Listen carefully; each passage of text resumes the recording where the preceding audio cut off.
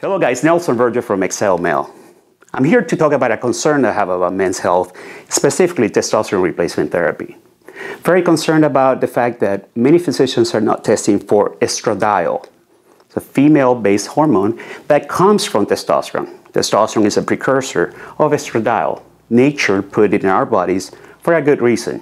We need estradiol for stronger bones, for sexual function, for brain function, for skin quality, etc., etc. So, but high estradiol, very high estradiol, is being uh, linked to cardiovascular disease, um, edema, water retention, and possibly gynecomastia, which is the growth of breast tissue under the nipple in males. So it is important to, because testosterone, when you increase testosterone with testosterone replacement, your estradiol will go up. And that can be a good thing for people with low estradiol. But if your estradiol is excessively uh, increased, and that happens if you have liver dysfunction, you have a high fat content in your body, or you have genetic predisposition to aromatize a lot of the testosterone to estradiol.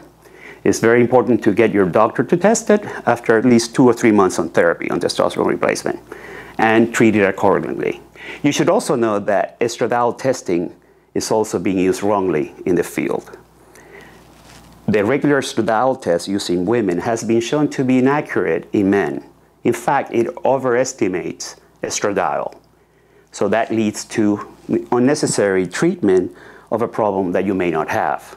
Many men are prescribed anastrozole, which is Arimidex, that decreases estradiol, but sometimes it decreases it too much, and it brings you down to very low levels in which you can lose, lose bone density, sexual function, and actually fat, increase fat mass.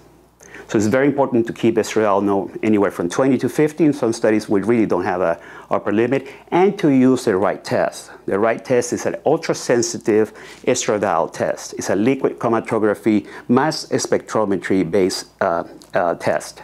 It's the only test that has been shown to be effectively and accurately measuring estradiol levels in men.